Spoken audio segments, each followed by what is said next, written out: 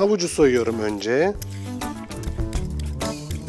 Şimdi kuru soğanımı da hazırlıyorum.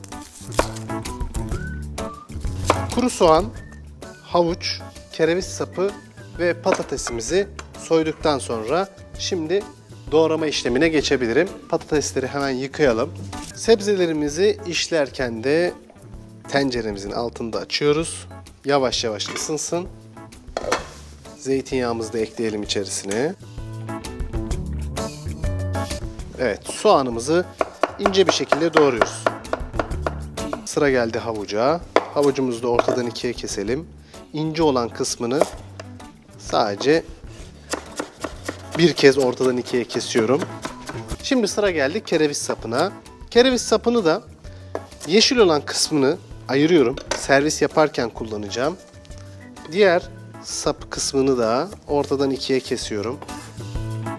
Büyük olan tarafı 3'e keseceğim şimdi. 3'e böleceğim. Bunu da çok ince bir şekilde doğruyorum. Sıra geldi patateslere. Patatesimizi de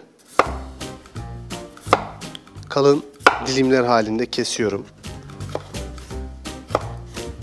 Zar büyüklüğünde doğramamız yeterli olacaktır.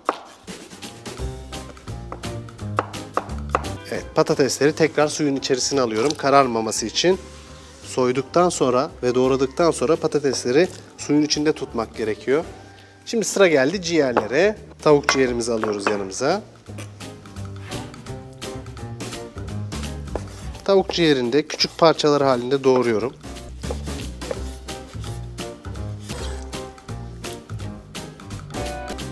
Şimdi artık pişirme işlemine de geçebiliriz.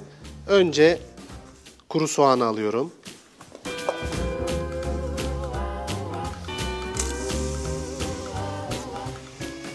Güzelce karıştıralım. Bunun içerisine kereviz sapı ve havucu ekliyorum şimdi. Üçünü birlikte güzelce karıştıralım. Şimdi sıra geldi dana jambonu doğramaya. Dana jambonumuzu da hazırlayalım.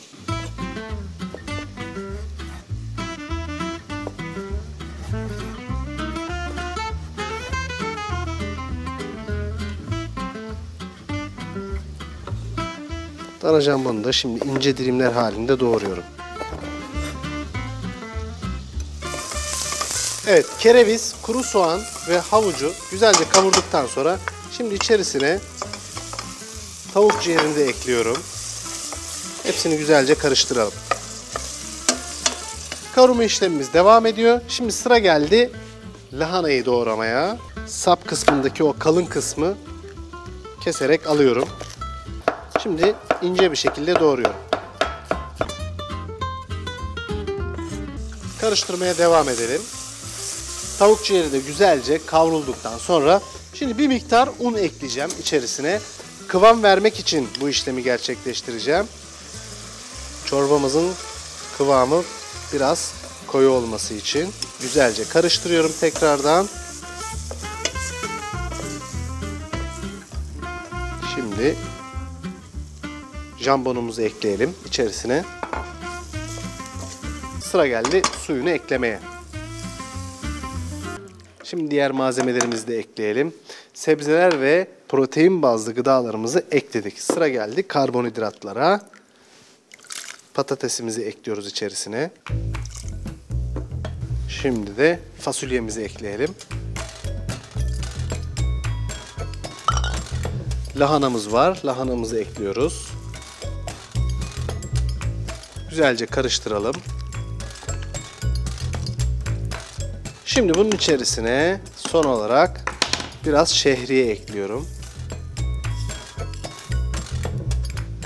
Şehriyeyi de güzelce karıştıralım içerisine. Gerekirse biraz daha su ekleyebilirsiniz içine. Şimdi kapağı kapatıyorum. Bu şekilde yaklaşık bir yarım saat pişirdikten sonra üzerine peynir serperek servise sunacağım. Çorbam güzelce pişti. Bol sebze ve içerisinde karbonhidrat ve proteinin de bulunduğu lezzetli bir çorba. Çorbamı servis ederken de şimdi üzerine bir miktar rendelenmiş peynir koyuyorum.